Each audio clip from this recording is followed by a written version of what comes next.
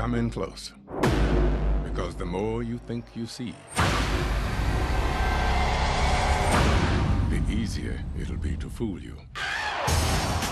Ladies and gentlemen, For our final trick. we are going to rob a bank.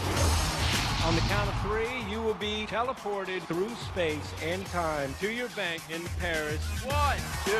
Three. Everyone in this room was a victim of hard times. Some of you lost your homes, your cars, and so tonight, We're gonna return some of that money back to you.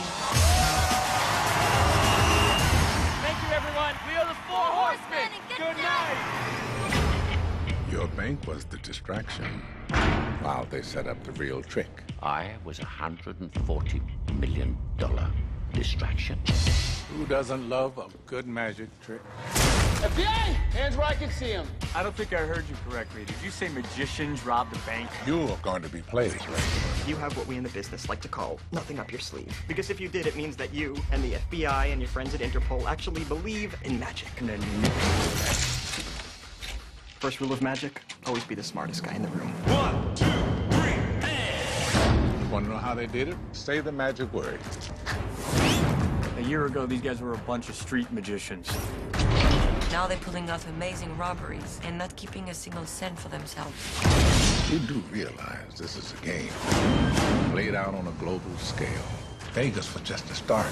This trick was designed a long time ago.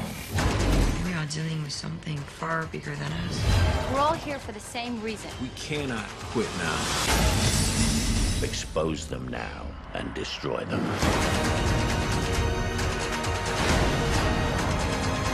Whatever is about to follow, whatever this grand trick is, is really going to amaze.